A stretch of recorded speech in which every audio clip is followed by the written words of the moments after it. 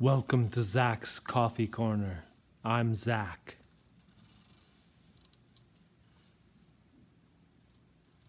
Oops. Looks like I missed a strap.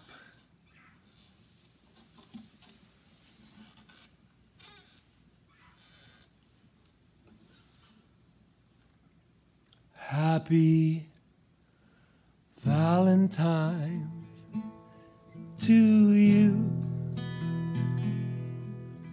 Happy Valentine's to you. Happy Valentine's, dear Mr. or Mrs. President. Happy